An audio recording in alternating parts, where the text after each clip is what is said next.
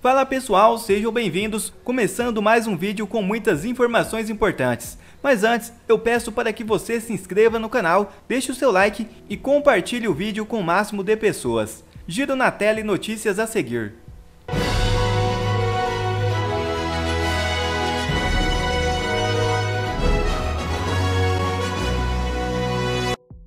Bolsonaro faz discurso no Pará e é aclamado por multidão. Veja o vídeo acordam e se interessam pelo futuro da nossa pátria. Vocês estão vindo para a política não por cotas, mas estão vindo porque estão interessadas e têm potencial de mudar o destino do nosso Brasil. É a nossa coronel Lívia, A positivo da Polícia Militar, com PL. Coronel? Mulher. Então dizer que, por vezes, nós temos derrotas. Por vezes,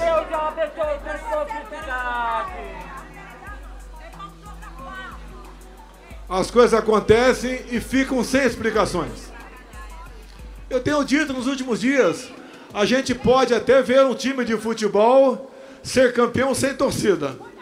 Agora, um presidente sem povo é a primeira vez que acontece no Brasil.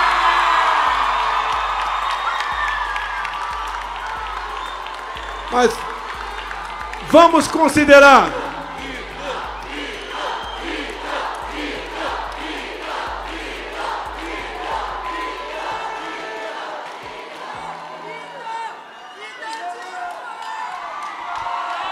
Vamos considerar 2022 uma página virada.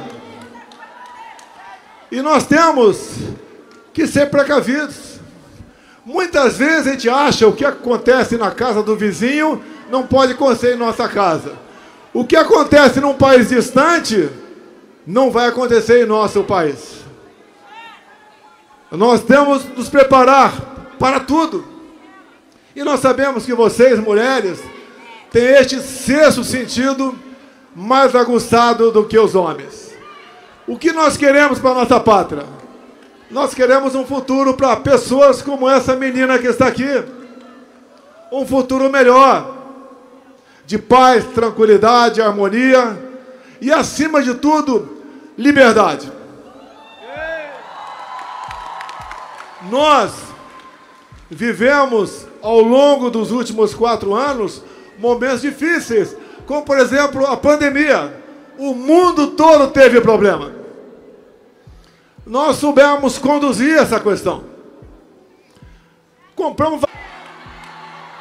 Sabemos nos respeitar, cada um com a sua responsabilidade. Mas durante a pandemia, nós criamos auxílio emergencial para as mães que tinham filhos receberam o dobro do valor, receberam R$ 1.200. Indo para o final da pandemia, e nosso governo criamos o Pix, que modificou a economia em nosso Brasil.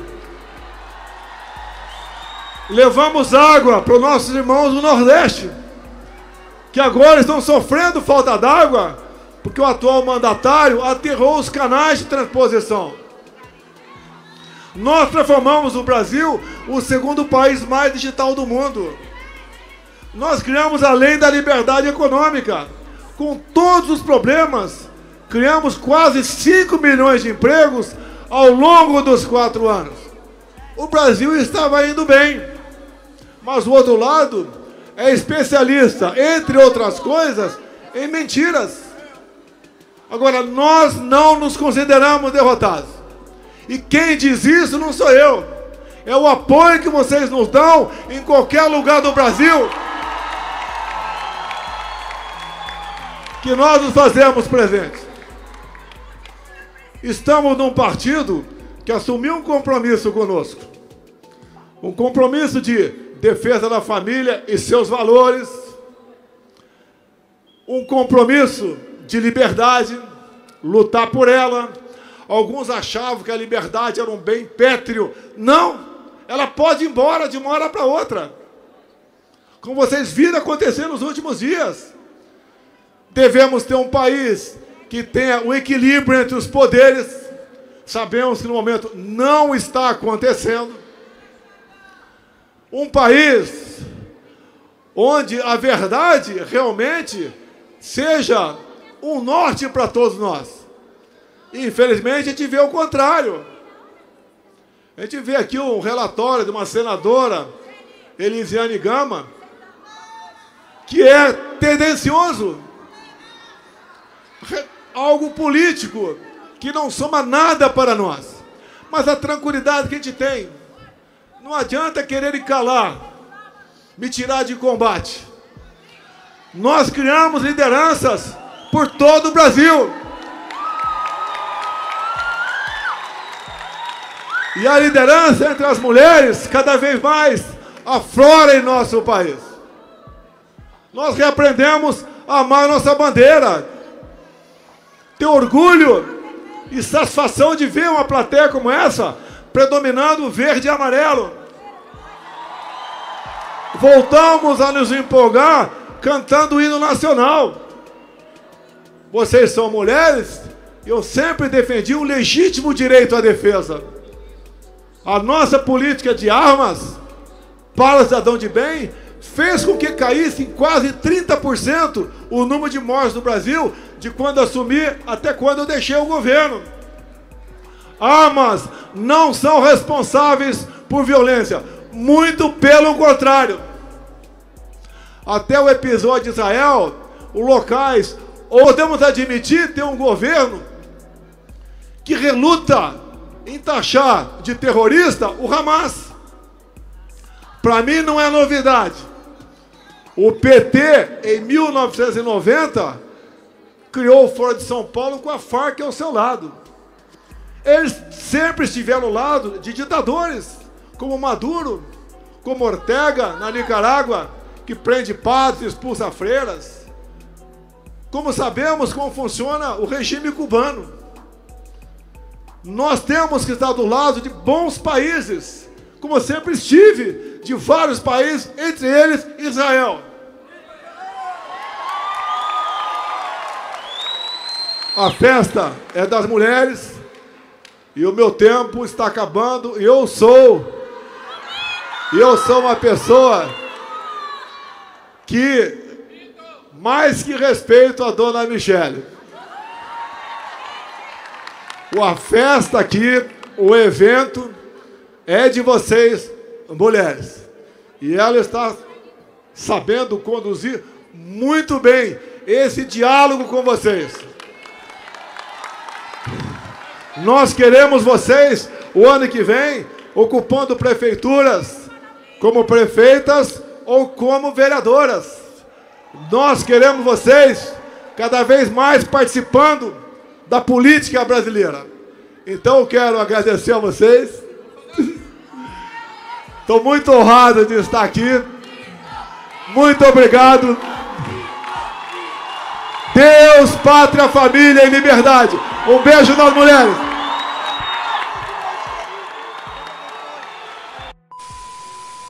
Outra notícia na tela. Estados Unidos investigam um grupo neofascista dentro do Partido de Esquerda do Brasil. É isso mesmo. O Departamento de Estado dos Estados Unidos tornou público nesta sexta-feira um relatório especial com uma investigação sobre a nova resistência de um grupo de orientação neofascista com ligação pró-Rússia instalada dentro do Partido Democrático Trabalhista. O governo americano acusa o movimento, braço nacional do Movimento Nova Resistência, de serem exportadores de desinformação russa no país. Veja o vídeo. Essa aqui é quentinha, acabou de sair do forno e ela é uma daquelas notícias assim que. É, é, você tem que checar em três fontes diferentes porque é difícil acreditar, do tão absurdo que é.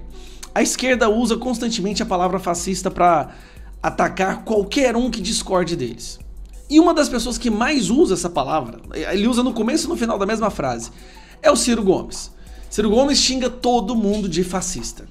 Pro PDT, Todo mundo que não concorda com eles é fascista. Lembrando que o PDT, isso aqui eu faço questão de mostrar.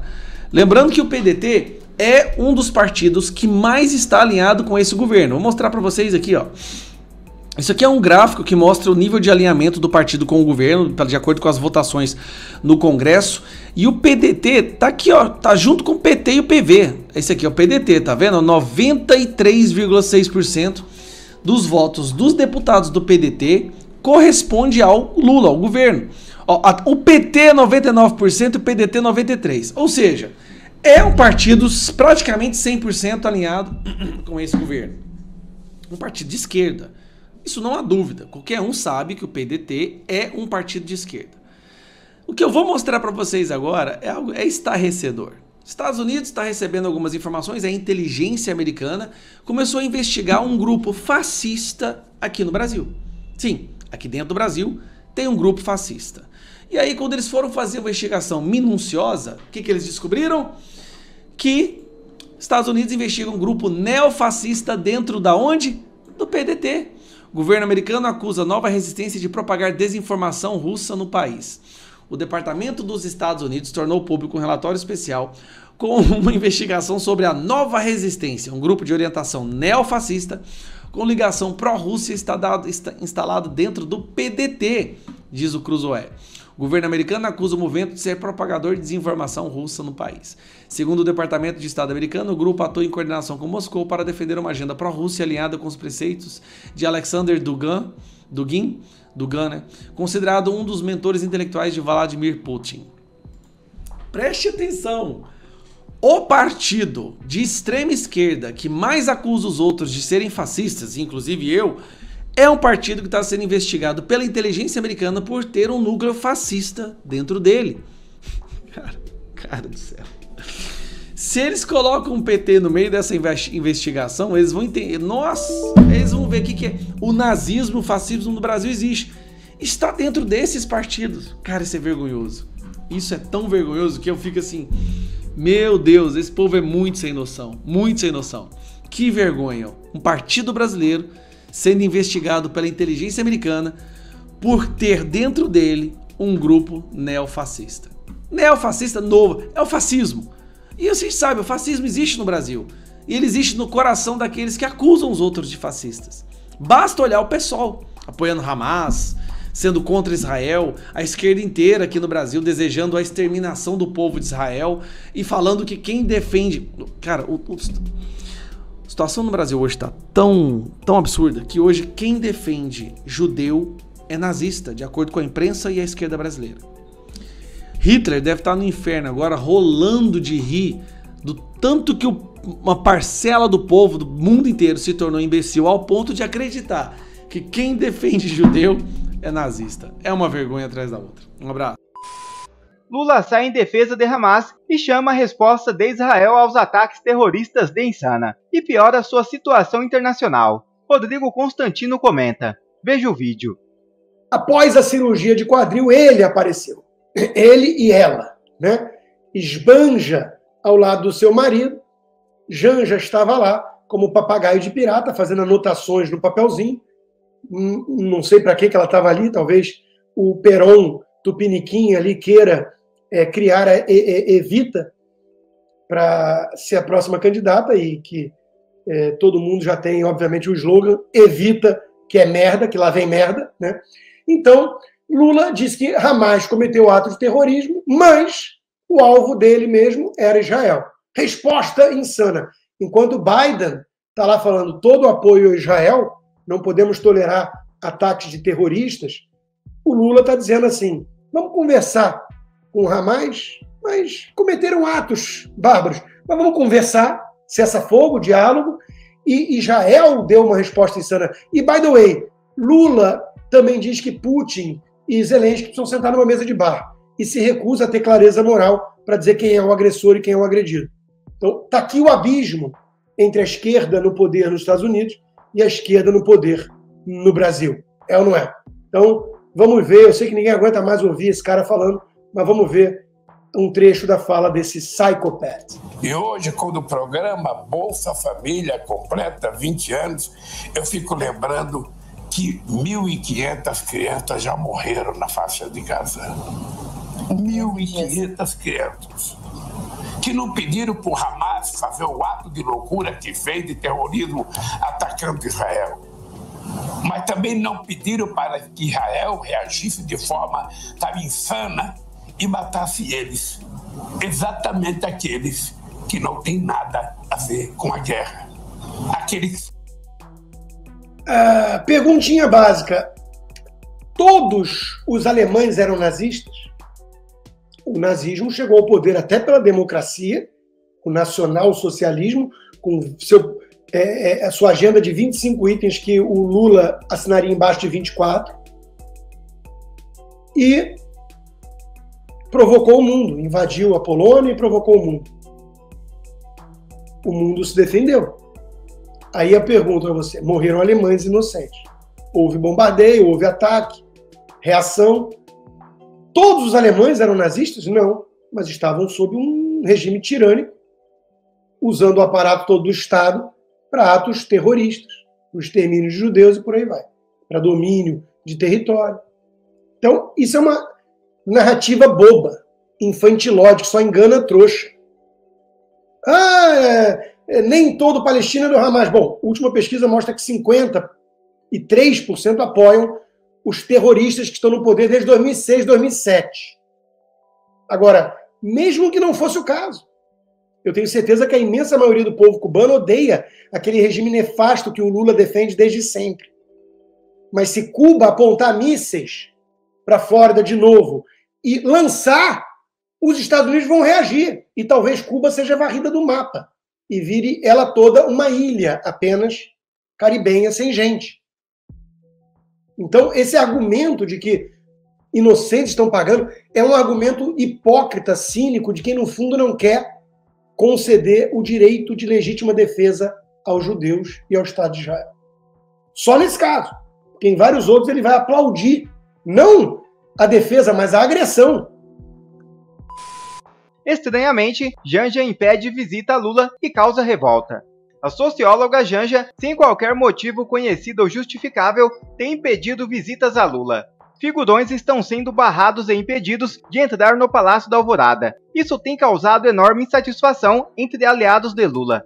Notícia sobre o assunto divulgada de maneira sucinta no radar da Veja diz o seguinte: Pouco popular no Planalto, a primeira-dama Janja tem barrado diferentes figurões que tentam visitar Lula no Palácio da Alvorada. O presidente está em recuperação há três semanas da cirurgia que fez no quadril no dia 29 de setembro e tem despachado da residência oficial. Realmente esse comportamento de Janja é bastante estranho. Já outra notícia na tela. Lula retorna ao hospital sírio-libanês no DF neste sábado. Petista passou por duas cirurgias no fim de setembro. O presidente Luiz Inácio Lula da Silva, que foi submetido à cirurgia no quadril no último dia 29, realiza neste sábado radiografia para revisão de rotina pós-operatório. Após os exames, o petista ao Palácio da Alvorada, residência oficial da presidência, sem compromissos oficiais. Os exames serão realizados no Hospital Sírio-Libanês em Brasília, mesmo local onde Lula realizou a cirurgia. A nota informando os exames nesta manhã é assinada pelo cirurgião ortopedista especializado em quadril que operou o chefe do executivo, Giancarlo Polezelo, e pela médica da Presidência da República, Ana Helena.